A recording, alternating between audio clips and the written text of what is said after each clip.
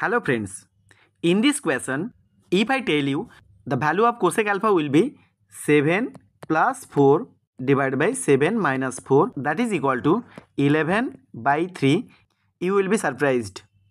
But it is true. If you apply componendo and dividendo on both sides, then we get sec alpha plus tan alpha plus sec alpha minus tan alpha divided by sec alpha plus tan alpha minus sec alpha plus tan alpha which is equal to 7 plus 4 divided by 7 minus 4. Here in the numerator tan alpha tan alpha gone and in the denominator sec alpha sec alpha gone. The remaining portion is 2 sec alpha divided by 2 tan alpha which is equal to 11 by 3. Now after cancelling 2 sec alpha can be written as 1 by cos alpha and tan alpha is cos alpha by sin alpha. So after cancelling cos alpha we get 1 by sin alpha which is equal to cosec alpha cosec alpha equal to 11 by 3. So here option 3 is the right answer.